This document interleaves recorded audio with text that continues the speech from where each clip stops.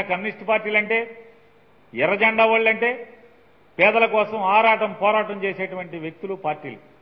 నాడైతే ఈ నారాయణ గారు రామకృష్ణ గారు ఇద్దరు ఈ జోడంతా వచ్చి కమ్యూనిస్ట్ పార్టీని చివరికి ఏం చేశారయ్యా అంటే క్యాపిటలిస్ట్ పార్టీ ఆఫ్ ఇండియా లాగా దాన్ని తయారు చేసి పారేశారు.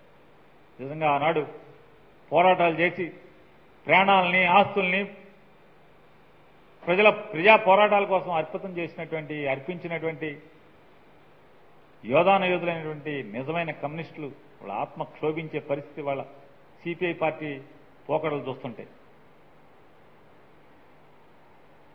నిజంగా కమ్యూనిస్ట్ పార్టీ మీద వీళ్ళకన్నా నిజమైనటువంటి భక్తి గౌరవభావం ఉంటే వాళ్ళిద్దరూ బయటికి వెళ్ళిపోయి కొత్తగా ఏమన్నా సిపిఐ బ్రాకెట్లో సిపిఐఎం సిపిఐ ఎంఎల్ సిపిఐ ఇట్లా రకరకాలుగా ఉంటాయి కదా.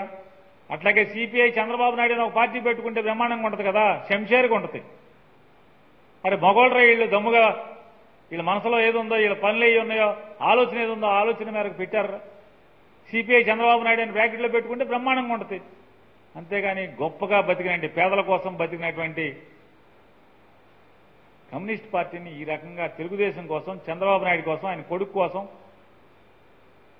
ఇట్లా దిగజార్చే స్థితికి పార్టీని తీసుకురావడం అనేది నిజంగా ఇది శోచనీయం కాదు.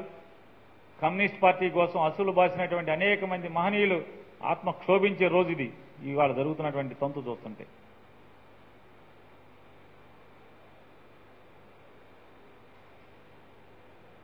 ఖచ్చితంగా ఇవాళ రాష్ట్ర ప్రజానీకం అంతా కూడా పండుగ చేసుకునేటువంటి రోజు ఇది. ఎవరు అడగకుండానే ఎన్నికల ముందు తన పాదయాత్రలో ప్రతిదీ గమనించి అరే జిల్లా కేంద్రం ఇక్కడ ఉంది పాలకులు ఇక్కడ ఉన్నారు లేదా జిల్లా కలెక్టర్లు ఉన్నారు ఇక్కడ కానీ ఇదంతా కూడా అన్యాయం జరుగుతుంది. ఉదాహరణకి పద్దెనిమిది వందల యాభై తొమ్మిదిలో ఏర్పాటైనటువంటి కృష్ణా జిల్లాలో మచిలీపేటలో ముఖ్య కేంద్రం అయితే నాడు ఎంతో ఘనంగా వెలిగినటువంటి మచిలీపట్నం ఇవాళ ఏ స్థితిలోకి వచ్చేసింది? మొత్తం అధికారులంతా కూడా బెజవాడలో జిల్లా కలెక్టర్ దగ్గర నుంచి ఎస్పీ దగ్గర నుంచి ఆఖరికి జిల్లా స్థాయి అధికారులు కూడా మొత్తం కూడా బెజవాడలో కాపురం ఉండి బెజవాడలో ఆఫీసులు నడుపుతూ ఉంటే వారానికి మొక్కుబడిగా ఒక్కరోజు సోమవారం నాడు జిల్లా ముఖ్య కేంద్రంలో వాళ్ళు ఉండే స్థితి ఉంటే అరే దీన్ని ఎందుకు ఇలా వదిలేశాం? దీన్ని రెండుగా విడగొడితేనే అటు తూర్పు కృష్ణాకి ఇటు పశ్చిమ కృష్ణాకి న్యాయం వాసులకి న్యాయం జరుగుతుందని చెప్పని పదమూడేళ్ళు పరిపాలించిన చంద్రబాబుకి ఎందుకు అనిపించలేదు? ఇవాళ సన్నాయి నొక్కులు నొక్కుతున్నారు మీరందరూ కూడా. చంద్రబాబుకి వంత పాడుతున్నారు కదా. ఇవాళ వయసులో తక్కువైనా పరిపాలన అనుభవంలో తక్కువైనా మూడేళ్ళ అనుభవంలో ఇంత ఆలోచన చేసింది నిర్ణయాలు తీసుకోవటం అంటే చరిత్ర కాదా అది? ఎంత దార్శనికత ఉంటే ఇంత నిర్ణయాలు చేయగలరు? కనీసం ఇప్పటికైనా మీరు ఒక మంచి మాట చెప్పలేనప్పుడు ఒక మంచి పని చేసినప్పుడు ప్రజలకు ఉపయోగపడేటువంటి ఒక మంచి కార్యక్రమం చేసినప్పుడు మంచిని మంచిగా చెప్పేటువంటి నోరు లేనప్పుడు కనీసం నోరుకి తాళం వేసుకుంటే అన్న ప్రజలు హర్షిస్తారు మిమ్మల్ని అని చెప్పని మీ అందరికీ హితవు పలుకుతూ మచిలీపట్నం వాసిగా ఎప్పటి నుంచో మచిలీపట్నం వాసుల యొక్క ఆవేదన పేరుకే మాది జిల్లా కేంద్రమే కానీ బ్రిటిష్ పాలకులు ఉన్నప్పుడే మేమెంతో మా ఊరెంతో ఘనం.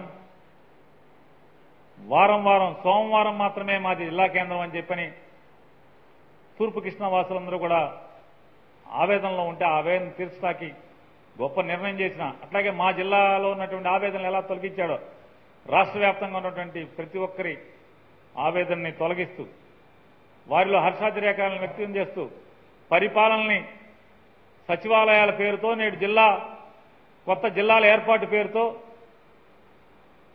జిల్లా కలెక్టర్ అంటే ఒక హోదా కాదు ఒక బాధ్యత అది ప్రజలకు సేవ చేసే బాధ్యతగా ఈరోజు ఆయన తన సూటి మాటగా చెప్పి ఈ రోజు నుంచే ఆ జిల్లాల్లో పనిచేయించడానికి నిర్ణయాలు తీసుకుని అమలు చేస్తున్నటువంటి జగన్మోహన్ రెడ్డి గారికి రాష్ట్ర ప్రజలందరి తరఫున ఈ ఇరవై ఆరు జిల్లాల తరఫున భవిష్యత్తులో ఇంకేదన్నా ఒకటోరా జిల్లా ఏర్పడితే ఆ జిల్లా ప్రజలందరి తరఫున జగన్మోహన్ రెడ్డి గారికి మనస్ఫూర్తిగా కృతజ్ఞతలు తెలియజేస్తాం.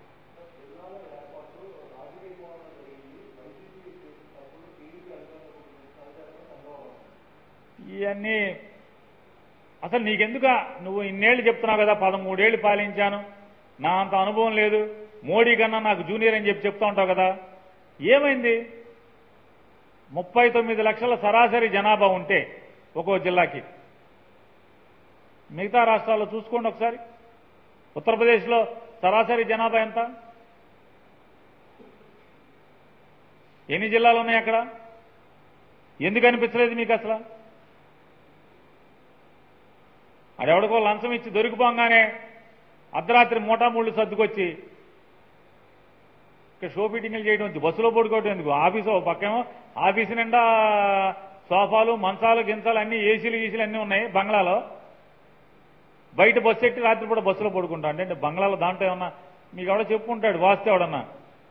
దాంట్లో పడుకుంటే పోతావరా బాబా అక్కడ కేసీ కేసీఆర్కి వచ్చి మళ్ళీ అరెస్ట్ చేస్తాడని చెప్పుకుంటారు. అందుకని బస్సులో పడుకుని ఉంటావు ఇట్లాంటి తక్కువ టమారు విద్యలకు తప్పితే దేనికి పనికొచ్చింది ఈ అనుభవం? చంద్రబాబు నాయుడు గారి అనుభవం దేనికి పనికొచ్చింది? ఏం చేస్తావు? జగన్మోహన్ రెడ్డి గారు చంద్రబాబు నాయుడికే కాదు ఎవరికి కూడా అవకాశం ఇవ్వకుండా ప్రజలకు ఆకాంక్షలన్నింటినీ కూడా ప్రతి ఒక్కటి గమనిస్తాడు వారు పరిశీలిస్తారు ఖచ్చితంగా నిర్ణయం తీసుకుని అమలు చేస్తారు.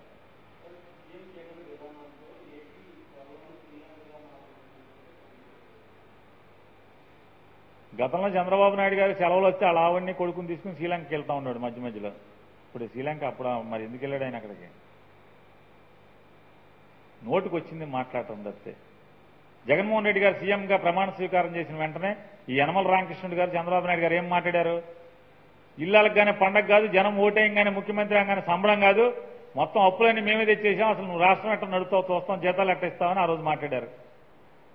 జీతాలు ఇవ్వటం అంటే ఇప్పటికీ ఒక లక్ష పైచి లక్ష ముప్పై వేల కోట్ల రూపాయలు ప్రజలకు సంక్షేమ కార్యక్రమాలను ఖర్చు పెట్టడం పదివేల కోట్ల రూపాయలతో ముప్పై ఒక్క లక్షల మందికి ఇంటి స్థలాలను కొనివ్వటం. నువ్వెందుకు చేయలేకపోయావు? నీ అనుభవం అయింది చెప్పావు ఒక మాట. ఆడవాళ్ళకి రుణమాఫీ చేస్తానని చెప్పావు డాక్టర్ గ్రూపులందరికీ. ఏమైంది నీ అనుభవం? ఆ రోజు జగన్మోహన్ రెడ్డి గారు ఎలా చేస్తావని చెప్పిన ఉత్తరం రాష్ట్ర ఎలక్షన్ కమిషన్కి? నువ్వు పిల్లోడివి పిల్లకాకి నీకేం తెలుసు? నా అనుభవం ఉంది నేను అప్పు తీరుస్తాను ఆడవాళ్ళందరూ అప్పులు తీరుస్తానని చెప్పి మాట్లాడావు ఆ రోజు. తర్వాత ఏమైంది? చివరికి మళ్ళీ ఓట్లు వచ్చేదాకా పసుపు కుంకుమ పేరు పెట్టి వాళ్ళ ముఖాన్ని ఇంత వేదజల్లి బెచ్చం వేసినట్టు వేసిన పరిస్థితి. తప్పితే వాళ్ళ జగన్మోహన్ రెడ్డి గారు చెప్పిన ప్రతి మాట ఇవాళ డ్వాక్రా గ్రూప్లో ఉన్నటువంటి అప్పు మొత్తాన్ని కూడా నాలుగు దఫాలుగా తీరుస్తున్నాడు తీరుస్తున్నాడు. ఇచ్చిన ప్రతి మాట తొంభై ఐదు శాతం ఎన్నికల హామీలన్నీ ఇప్పటికే తీర్చడం అంటే ఎవరి వల్ల అవుతుంది? ఇవాళ జిల్లాల ఏర్పాటు కూడా ఎన్నికల హామీనే కదా. ప్రతి పార్లమెంట్ను ఒక నియోజకవర్గ ఒక జిల్లా చేస్తా అని చెప్పారు పార్లమెంట్ నియోజకవర్గాన్ని. అలాంటిది ఇరవై ఐదు కాకుండా ఇరవై ఆరు చేశారు రేపు ఇరవై ఆరు కూడా చేయడానికి అవకాశం ఉంది.